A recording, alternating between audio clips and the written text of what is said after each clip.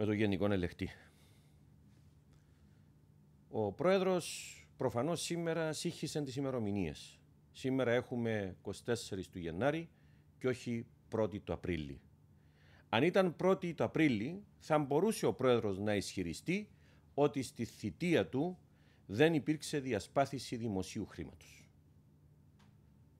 Αλήθεια, η επιχορήγηση μιας ιδιωτικής τράπεζας με δισεκατομμύρια ευρώ από τους φορολογούμενους πολίτες και το φάγωμα του συνεργατισμού τι είναι; Τι είναι η ιδιωτικοποίηση του λιμανιού που κοστίζει πολλά εκατομμύρια στο κράτος κάθε χρόνο; Τι είναι τα εκατομμύρια των μελετών που κάνει η κυβέρνηση και που τελικά μπαίνουν στα συρτάρια.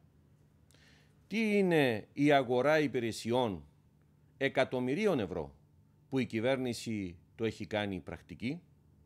Τι είναι ο διορισμός συμβούλων, παρασυμβούλων, επιτρόπων στους οποίους διορισμούς προβαίνει η κυβέρνηση κάθε λίγο και λιγάκι; Οι περιπτώσεις διασπάθησης δημοσίου χρήματος είναι πολλές και μόνο ως ανέκδοτο μπορεί να λεχθεί ότι δεν υπάρχει διασπάθηση χρήματος. Είπε ο Πρόεδρος ότι λαμβάνονται πολύ σοβαρά υπόψη οι εκθέσει του Γενικού Ελεκτή. Είναι στη βάση τούτο που η κυβέρνηση επιτέθηκε στο Γενικό Ελεκτή. Με απόφαση μάλιστα ανακοίνωση του Υπουργικού Συμβουλίου.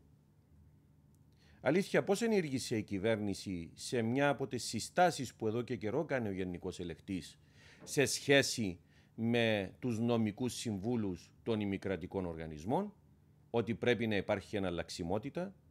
Η κυβέρνηση σιώπησε, δεν έκανε τίποτα στο θέμα και απλώς παρακολουθεί και ενισχύει τα βασίλεια και τα κατεστημένα να συνεχίζουν τη δράση τους στην Κύπρο.